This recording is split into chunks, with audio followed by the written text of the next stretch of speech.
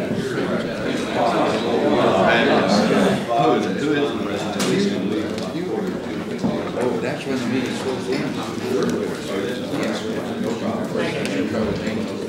Oh, I believe it. We wanna have- We do it all the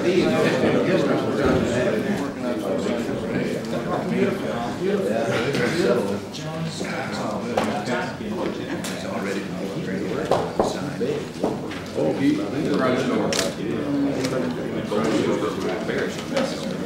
Yeah, friends of that quite a bit. Empty chair, two empty chairs.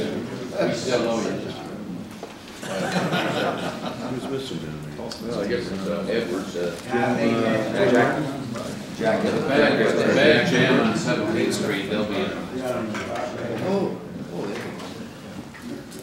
there you go. Hey, well, maybe we better get going, and I don't know about the rest of you, I haven't had breakfast, I'm waiting for a couple of coffee, I'm gonna eat one of those, so.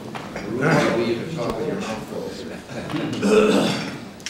I just wanna lead off with a couple of comments and then get down to the subject for which I called the meeting. I understand the conference on the jobs bill uh, finished late yesterday. We haven't had time to review it down here, the specific details. I hope it's consistent with the framework and the guidelines that we a few weeks ago. And on social security, I hear the Senate is stalled yet. I- Another amendment to play games on the subject of interest and dividend withholding. The social security bill is urgently needed, not just for that itself, but because the unemployment benefits for about one point six billion job, or million jobless that expire at the end of March, and we have to have. And I'm hoping that before we leave for the Easter recess, that a conference report on that reform, social security reform legislation, uh, without anything on the withholding issues, will be adopted by both the House and the Senate. I know what you've all heard, and I've been hearing it too from the people. And all I can say is, the bankers can give lessons to anyone in the world on lobbying. They've convinced about eighty percent of the people, as you've all heard from your own constituents, who think that this is a new tax, who think it's something unjust. Time magazine reports their estimate of how much money is being stolen by not having such a thing as seven point seven billion dollars a year in people that are just not, not paying on that. And I've had it up to here with the bankers, sitting there on their keisters, without doing anything about the interest rates that could legitimately come down right now, but they're so damn busy lobbying on this thing.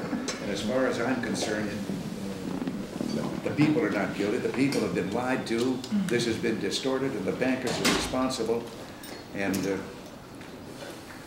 I'm waiting pen in hand for that. But right now, to try and, and let this thing be hung on the social security bill and hold it up with as much of a volatile issue as that is, is just, uh, well, it's beyond, I threw my glasses and put it back on. You're right here. Uh, Yes, I'm exercising, but I'm mad as hell. But now, we get down to the other thing that maybe will restore my good nature, and that's that beautiful budget bill that passed out of the Democratic, or out of the committee on straight party line vote. And uh, I recognize that we've got problems that are gonna take some give and take on, on budgeting, and we're prepared for that with the budget that we sent up. But you can't compromise with a thing like that, a bill that is so out of line that it, for just the first year, the one year, twenty-seven billion dollar increase in taxes, a ten billion dollar cut in defense, an eight billion dollar increase in a two-year deficit, and all of this so that they can have a forty-five billion dollar increase in domestic spending compared to what we've proposed. And the other day, when they called this, had a press conference on it when it came out of committee and gleefully called it a restatement of democratic tradition. Well, that's just what it is. And that's what we came here for, is to reverse that democratic tradition of spend and tax and so forth.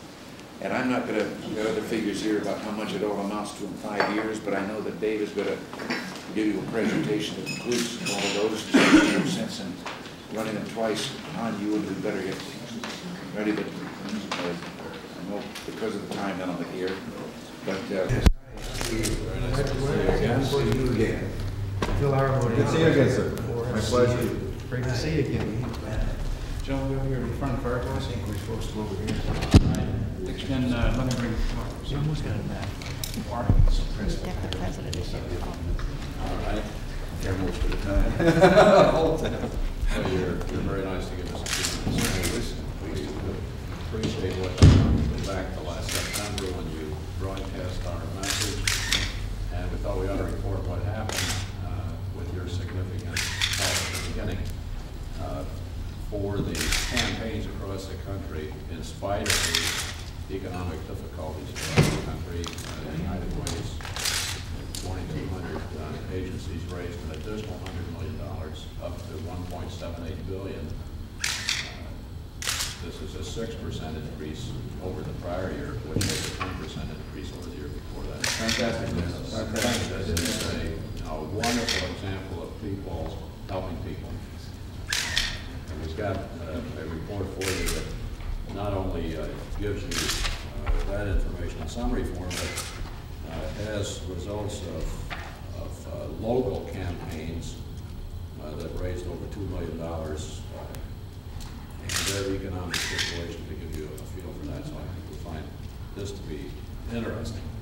I might add one other thing. We just left, before we came here, a local food bank that is a United Way supported agency that uh, distributed in the month of January 64 tons of food here to 50,000 people through 225 other agencies. Volunteer agencies. And uh, very exciting. Well, you, you're to be congratulated and commended, and you certainly have every reason to be proud. The, I think the, what has been shown by this in this time of adversity is a tribute to our whole society and our way of life. You know, Thomas Jefferson said that every man had a duty to give a part of his earnings to charity. And he also had an obligation to make sure that uh, what he contributed would be used in the most advantageous fashion.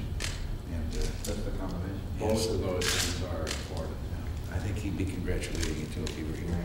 Good. Mr. President, I want to thank you also what Don Devine has done for the CFC, Hawaiian Trail campaign, we had a great campaign this year, thanks to your leadership. It's Very helpful.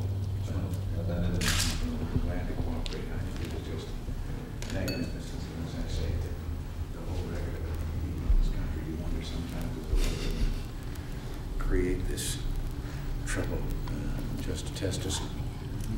And We find responded. out. Certainly responded. Thank you very much, Mr. President. All right. These are just cut Oh, thank- you very, very nice, appreciate it. Right. Well, listen, thank you, and God bless you all. Appreciate it.